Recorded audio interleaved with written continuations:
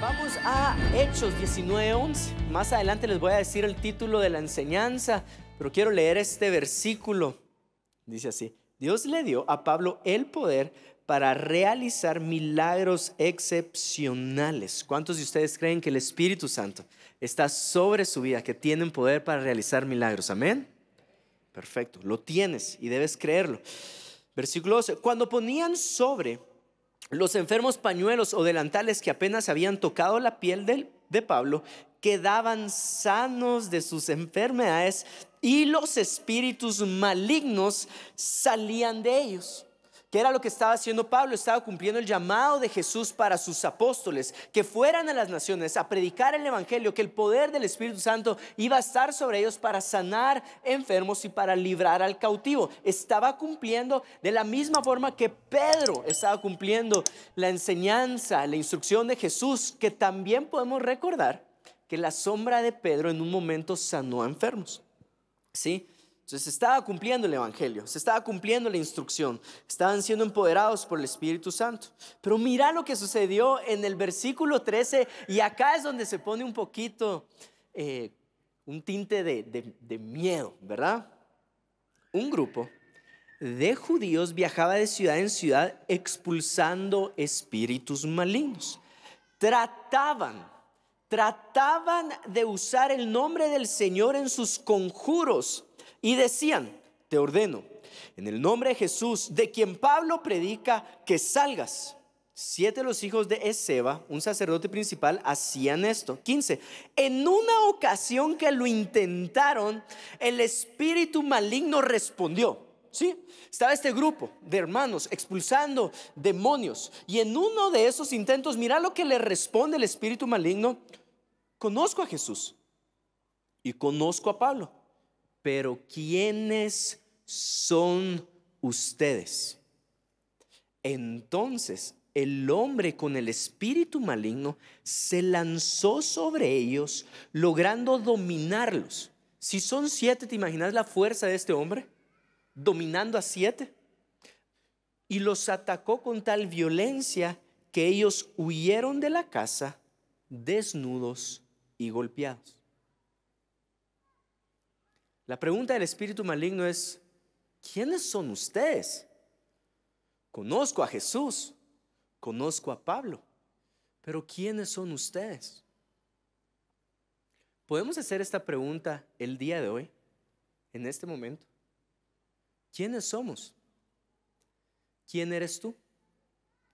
¿Cuál es tu respuesta? Si alguien como yo eh, te hace la pregunta, ¿quién eres? ¿Cuál sería tu respuesta? ¿Cuál sería tu respuesta si alguien como Jesús te pregunta, ¿quién eres? ¿Cuál sería tu respuesta si un espíritu maligno te pregunta, ¿quién eres? Imagino que así hablan los espíritus malignos. ¿Cuál sería tu respuesta? El domingo pasado mi papá abordó este tema cuando el diablo le preguntó a, a Jesús, si realmente eres el Hijo de Dios, di, haz. Sí es un cuestionamiento que tenemos a nuestra identidad y quiero que quede claro eso el día de hoy. Sí nuestra identidad es cuestionada muchas veces. Tu identidad, ¿quién eres tú? ¿Qué pasa si en esos momentos se cuestiona tu identidad? ¿Quién eres tú? ¿Quién eres tú? Porque las personas estaban haciendo lo correcto, pero no sabían por qué estaban haciendo lo correcto. Y la identidad estaba clara de Jesús, la identidad estaba clara de Pablo, pero la identidad de esos discípulos no estaba clara. La identidad de Jesús estaba clara delante del diablo. Y eso lo que nos enseña es lo importante que es para nosotros tener una identidad clara. Te puedo hacer la pregunta otra vez, ¿quién eres tú? Ahora, tal vez tú no vas a tener una situación como la mía y espero Dios en Dios que no sea así, o tal vez tú no vas a tener una situación como Jesús con el diablo en el desierto. Pero sí llegan momentos donde se cuestiona nuestra identidad, donde un espíritu maligno cuestiona nuestra identidad, pero se mira más o menos de esta forma. Venimos el domingo a la iglesia y entras, tal vez pasaste una mala semana, entras al momento de adoración y querés levantar tus manos en alto, sentirte protegido por tu Padre Celestial, pero viene una voz que te dice, ¿por qué estás levantando las manos si ayer le mentiste a tu esposa? Si antier hiciste algo que no está incorrecto, no seas un, no seas un hipócrita. Dios no, te, Dios, no, Dios no quiere ese tipo de persona en su presencia. ¿Quién eres tú? Eres un hombre sucio. Eres un hombre pecador. Eres un hombre que no se merece levantar las manos. Y entonces, en vez de entrar en la confianza delante del Señor para levantar nuestras manos y adorar, las bajamos y decimos, sí, ¿verdad? No, tal vez, tal vez Dios no me quiere delante de su presencia. Y viste cómo por tener una identidad confusa, no estás experimentando la presencia del Señor, pero tú puedes decir, silencio, silencio, te callas, esa voz la puedes silenciar y decir, yo puedo levantar mis manos al cielo porque mi Padre que está ahí arriba me acepta y derramó la sangre de su Hijo para que yo pudiera presentarme delante de Él, siendo pecador, pero justificado por su sangre, yo puedo adorar a mi Padre que está en los cielos. No se va a levantar un espíritu a cuestionar tu identidad, pero sí una voz a cuestionar tu identidad. ¿De qué otra forma lo podemos ver? Tal vez al momento de hacer un negocio, una transacción en tu empresa, te mandan la cotización y en la cotización están todos los rubros y, hay un rubro que dicen, bueno, tú sabes que este porcentaje va a, a esta persona que nos ayudó a hacer el contrato. No es un espíritu de destrucción cuestionando tu identidad.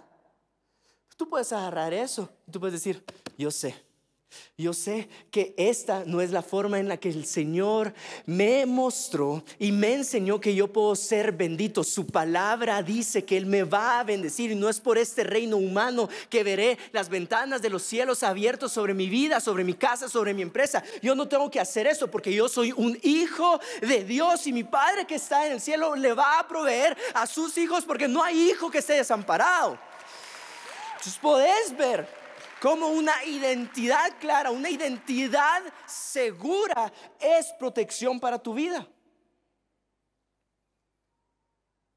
¿No te imaginas cuando tenemos en consejería a esas personas que tal vez terminaron una relación están quebrantados, dolidos? Y le haces la pregunta, pero ¿cuánto vales? ¿Quién eres tú? ¿No crees que que Dios está haciendo un proceso en tu vida y en la vida de la otra persona. Y si no es en esa persona, entonces Dios va a mandar a alguien bueno para tu vida. Y al afirmar la identidad, sí, yo soy hijo de Dios. Y Dios me va a mandar una hija de Él también. O yo soy una hija de Dios y Dios me va a mandar un hijo de Dios para mi relación. Y entonces el cuestionamiento de tu identidad se puede ver en cómo abordamos las áreas de nuestra vida.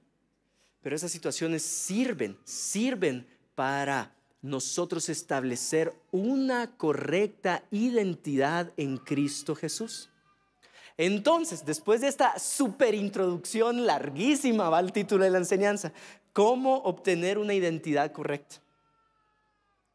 ¿Cómo, si estás anotando, puedes anotar este título, ¿cómo obtener una identidad correcta? Y el primer punto que te quiero decir para obtener una identidad correcta es someterte debajo de Dios, ¿sí? Sometiéndose debajo de Dios. Santiago 4:7 dice así, someteos pues a Dios, resistid al diablo y él huirá de vosotros. Mateo 4:10 dice así, cuando Jesús le responde a Satanás en la historia que estábamos contando hace un ratito o que mi papá contó el domingo pasado, entonces Jesús le dijo, vete Satanás, porque escrito está al Señor tu Dios adorarás y solo a él qué? ¿Solo a él qué?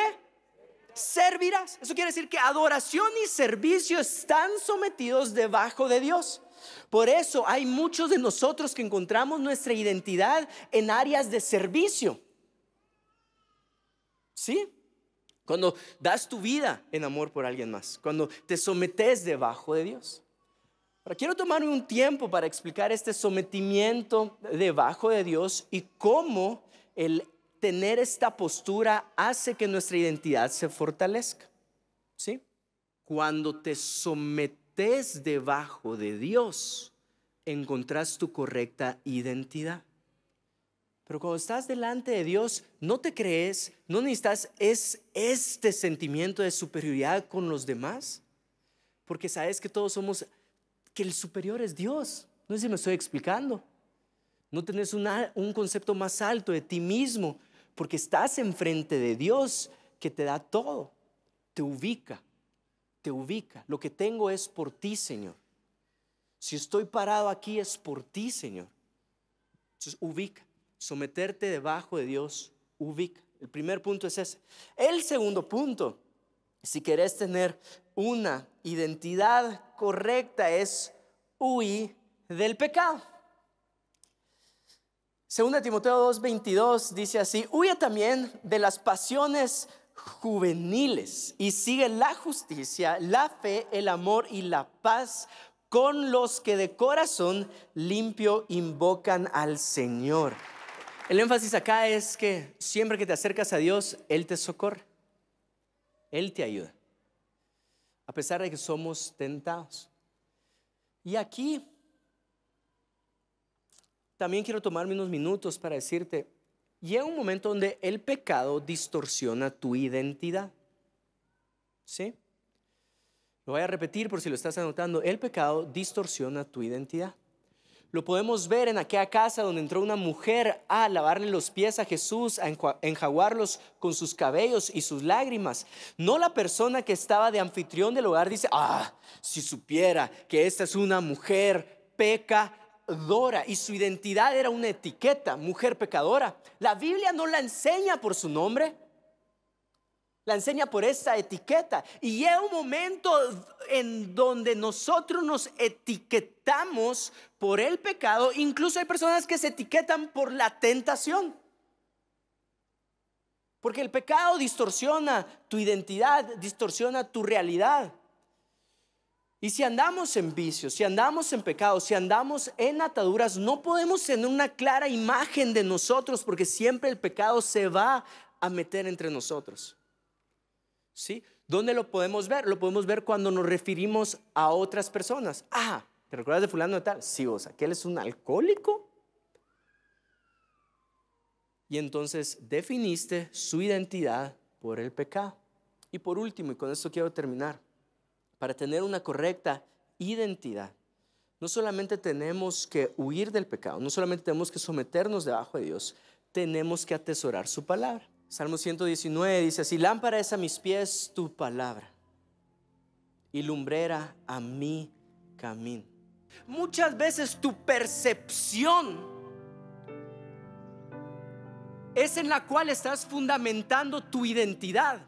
Pero tú y yo sabemos que no está fundamentada en percepciones, nuestra identidad está fundamentada en la escritura, en la hermosa palabra de Dios. Y si la palabra de Dios dice que soy hijo de Dios, entonces soy hijo de Dios. Si soy coheredero con Cristo, quiere decir que la herencia que tiene Cristo tú también tenés, porque eso es lo que la palabra dice. Y si la bendición de Abraham me fue dada a través de Jesús, pues yo soy bendito, porque mi palabra dice que soy bendito. No sé si me estoy explicando. Nuestra identidad viene de atesorar la palabra de Dios.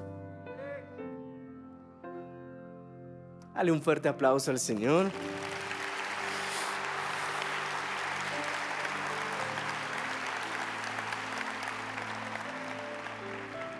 Di después de mí, Señor Jesús, hoy te confieso como mi Señor y mi Salvador. Te abro las puertas de mi corazón. Te pido que entres en mí, que guíes mi vida. Gracias por darme la vida eterna. No hay pecado que nos pueda separar de tu amor, ni lo alto, ni lo profundo, ni la vida, ni la muerte nos puede separar de ese amor que nos es entregado a cada uno de nosotros. Hoy inicia un camino contigo. En el nombre poderoso de Jesús, amén, amén. Hola, quería contarte algo. ¿Sabías que puedes ver este y otros videos en nuestro canal de YouTube? Solamente suscríbete y activa la campanita para que así las notificaciones te lleguen cada vez que subamos un contenido que sabemos será de mucha bendición para tu vida.